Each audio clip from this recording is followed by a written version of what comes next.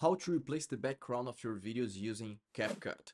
Today I'm going to show you step by step how to do this on the web version on your computer. So follow me. I will start sharing my screen with you to guide you. When you open CapCut, you just need to click on new project. You're going to import this video that you want to replace the background. I'll click on import. I'll drag and drop the video in our timeline. And to replace the background of this video, I just need to make sure that I have video selected at the top right. I click on cutout. I'm using a chroma key. I need the peak, the color is green. And the strength, usually this should be enough. I can fine tune a little bit. I think here looks good. If I want to add a picture or a video to the background, I'll click on import again, choose this picture or video. I will move our video up a little bit. And now I'll drag and drop the picture to the bottom. And this is the result using CapCut.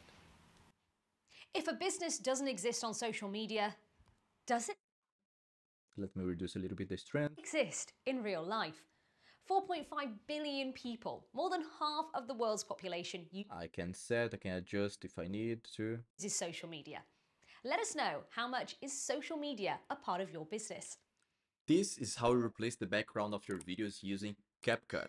I have another tool that I suggest you to using. It's BIGVU. It's faster and it's more intuitive and the result you'll be overwhelmed with the results. So let's take a look how easy it is using BIGVU. As soon as you open BIGVU, you just need to click on import video, change green screen. I'm going to select the specific video that I want as we did, as we have done on CapCut. Our video is uploading. In a moment, we'll be ready to replace the background. When the video is uploaded, you just open it, you click on the three dots and you choose replace background. Here, you can either upload your own asset to replace the background or use a template, a background for the BIGVU library. Here we have uh, blue, it would look like this and take a look on the result that we're having. Take a look at her hair. Let's use the same picture. I'm going to click on upload. I'm going to select the same file that we have used before. And in a few seconds, I don't have to do anything else. I have replaced the background of my video clicking on add.